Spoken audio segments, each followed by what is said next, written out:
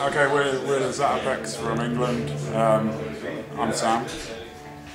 Oh, I'm introducing them. Yeah. Spider, our quite incompetent lead guitar player. Pete. Yeah. Will, he's our singer. And uh, Sebastian here is our Competent rather guitar shit looking guitar player. shit.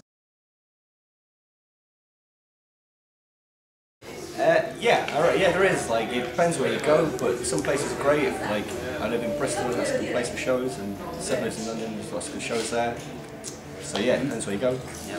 Manchester's got a good punk scene too, because I lived there again for the last two years. I don't live there now anymore, but yeah, Manchester's got a lot going on. But what, what kind of styles? Because I come, we live in Berlin. I come back to England with this. We've been away for eight years, and it's very strange. Like suddenly, people play in the different styles. Uh, people look different. Everyone's got beards. Uh, everyone's playing kind of like folky. It seems to me anyway that that struck me that, that these certain styles I didn't even know of eight years ago and now are suddenly very big. So it's also what, what do we mean by punk scene? Do we mean like casualties, hair as big as the room? Same, same with anything, you get get a mix of, of uh, whatever styles. Like in Manchester, there's you know it's like your crusty bands and folkish bands as well. I guess, hardcore bands, fast, good, decent rock and punk bands, and some shit ones. Uh, that transpired. Me and Seb had a telephone conversation in 2001. I was living in Berlin, and we wanted. To, he, he said we were making T-shirts. Seb's the organised one, and we were making T-shirts, and we wanted something other than the band name. And originally, we were quite inspired by, you know, we, we did this like parody early rock and roll thing, pretending to be a gang. Um, and can't really get away with that with That's free. the rancid do it. um, and Seb said, "Yeah, we just devised this. We thought because we we did this like rock and roll thing. We thought, okay, this sounds, you know, continu- continuity from the rock and roll era. It wasn't very fashionable. We deliberately being kind of weird and outcasts, and uh, so we just thought it'd be funny, basically.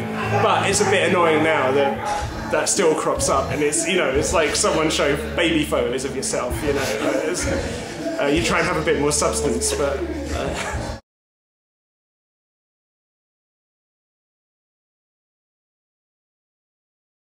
not really. Uh, Zat, well, firstly, Zatopeks I consider a political band. Like we have a lot of political or social or philosophical songs, but it's less. It's not like Antifa hooligans. It's a song I love, but we haven't yet done something like that. But Mikey D. Crack is showing his ass.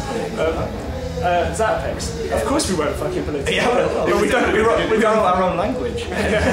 Um, no, but it's, maybe that is political. but Floppy was the same as so. The, Zatopeks started out this like rock and roll joke and then became a punk rock joke. But at the time, we were playing the political songs in Three and a Half Inch Floppy and then the joke Yeah. songs in the Zatopeks. And then they could have changed around a bit.